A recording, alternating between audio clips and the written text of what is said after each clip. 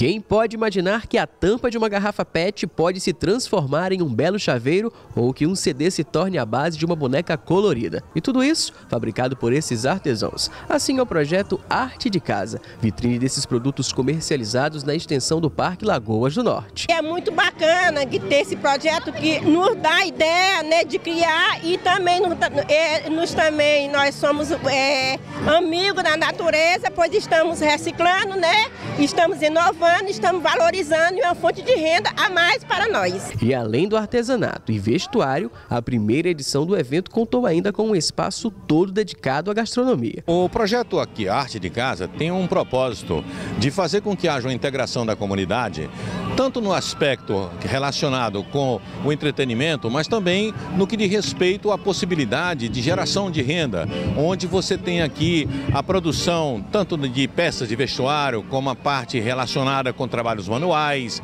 a parte de alimentação, enfim, mas tudo isso produzido aqui na região, aqui no local. Por isso é que nós chamamos a arte de casa. E quem aproveitou para conhecer o trabalho dos artesãos, aprovou a ação.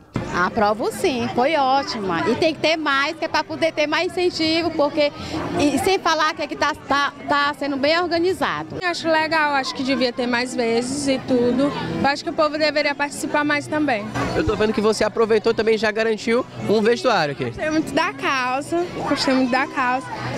E vou comprar, vou levar.